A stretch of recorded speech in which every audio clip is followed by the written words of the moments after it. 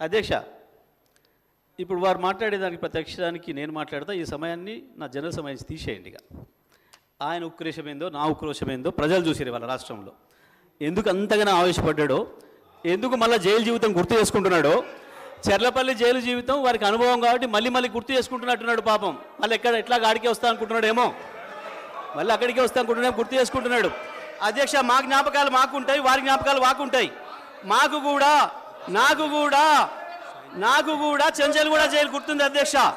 నాకు కూడా మీరు ఆగురు ఇక నేను చెప్తా కానీ వాళ్ళందరికీ.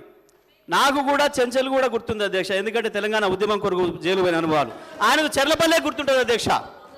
ఆయనకు అదే గుర్తుంటుంది అధ్యక్ష. పాపం మళ్ళీ యాద్ చేసుకుంటుండు. మళ్ళీ యాద్ చేసుకుంటున్నాడు.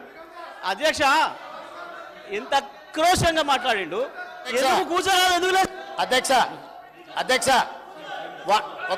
వారు గొప్పలు చెప్తారు. సూర్యాపేట రైస్ మిల్లులో దొంగతనం చేస్తే సూర్యాపేట మిల్లర్స్ పట్టుకొని సూర్యాపేట రైస్ మిల్లులో ఎవరిని చెట్టుకు కట్టేసిరో కూడా సూర్యాపేట చిన్న పిల్లగాన్ని నిక్కరేసుకున్న పిల్లగాన్ని అడిగినా చెప్తారు అధ్యక్ష. మిగతా వివరాలు మా వెంకటరెడ్డి గారికి ఒక రెండు నిమిషాలు సమయం ఇస్తే వాళ్ళది ఎంత గొప్ప చరిత్రనో ఎప్పుడెప్పుడు ఏమేం చేసిరో తాతలు ముత్తాతల నుంచి మొత్తం లెక్క చెప్తాడు అధ్యక్ష. సార్.